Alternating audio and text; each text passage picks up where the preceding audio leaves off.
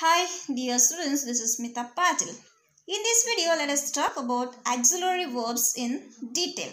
ಇದನ್ನು ಕನ್ನಡದಲ್ಲಿ ಸಹಾಯಕ ಕ್ರಿಯಾಪದಗಳು ಎಂದು ಕರೆಯುತ್ತಾರೆ the definition a word which helps other verbs to form different tenses is known as auxiliary verbs ಯಾವ ಕ್ರಿಯಾಪದವು ಇನ್ನೊಂದು ಕ್ರಿಯಾಪದಕ್ಕೆ ಕಾಲಗಳನ್ನು ತಿಳಿಯಲು ಸಹಾಯ ಮಾಡುತ್ತದೆಯೋ ಅದು ಸಹಾಯಕ ಕ್ರಿಯಾಪದವಾಗಿದೆ Let us talk about kinds of auxiliary verbs. So there are mainly two kinds of auxiliary verbs. First one is primary auxiliaries and second one is modal auxiliaries. So the first one is primary auxiliaries. In that we will come to about three forms. First one is be form, second one is do forms, third one is have forms. So be forms are am, is, are, was and were and do forms are do, does and did and have forms are has, have and had. So these all are the primary auxiliaries. Second one is modal auxiliaries. So in present tense we will use can, may, will and shall. Then in past tense we will use could, might, would, should, must, dare to, used to, ought to and had to. So these all are the modal auxiliaries. Let us come to know about the first one that is primary auxiliaries. So in that first one is be form and the be forms are am, is, are, was and were. Let us come to know about the example here. Am not late. So here before not we can use am also and I am late. So here am is a be form. He is late. Then he isn't late. So in negative sentences also we can use the be form and in positive sentences also we can use the be form. The positive sentences are we are late, you are late, uh, they are late, I was late, we were late. So these all are the positive sentences. And here I am not late, he isn't late, we aren't late, you aren't late, they aren't late, I wasn't late, we weren't late. So these all are the negative sentences. So, and here am, is, are and was, where are the be forms. Let us talk about second one that is do forms. So the verb do, the verb to do has four forms. So that is do, does, did and done. So in present tense we use do and does. Then in past tense we use did. Then in past participle that is done. Let us come to know about the examples. First one is present tense do or does. So after I, we, you, they, we use do. Then after he, she, it, we use done. So let us come to about the examples. I do my laundry on Sunday. So here after I, we use do. Then he does nothing all day.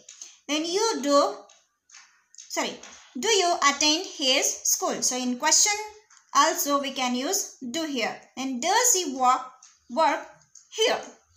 So here we use uh, do and does in present tense. The second one is past tense. That is did. So I did my work in recorded time. So it talks about the past thing. So what was happening in the happened in the past. I did some shopping today and I did not want it. She didn't feel the cat this morning. They didn't came today. So here also we can use the positive sentences and also the negative sentences. Then the third example is past participle that is done. So remember that past participle are accompanied by to have or to be. The examples are I have done my homework. He has done a good job.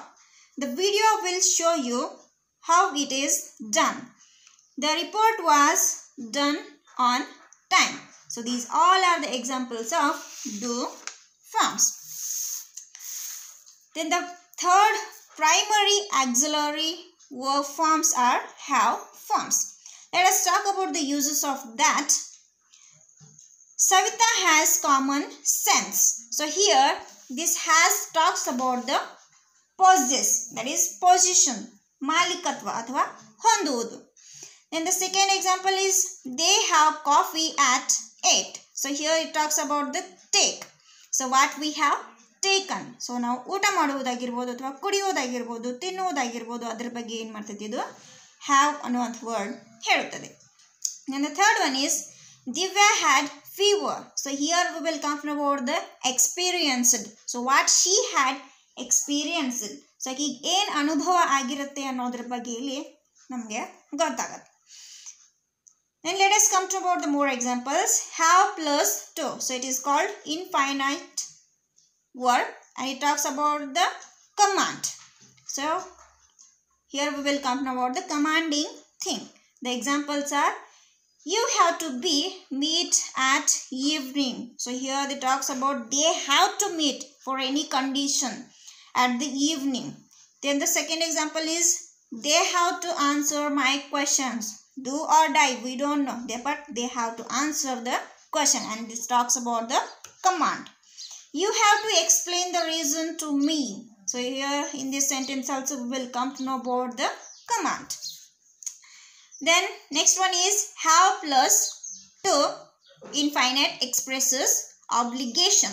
So here we will come to know about the obligation. Obligation means lord lordship.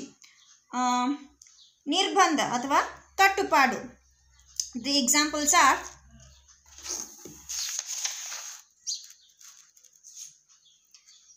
Has to live with her parent. So here in this sentence we will come know about the obligation. She has to live with her parents. Then she he has to pass exam for his future. So for his future he has to uh, pass the exam. So here also we will come know about the obligation. Then they have to wait for better days. Then uses of had. So uh, it is the past form of the transitive have and has. So it is the past form of the verb have and has, the helping verbs. So let us consider about the examples. I had two slices of cake. She had a book. They had lunch. So this is all about primary auxiliary verb. Thank you.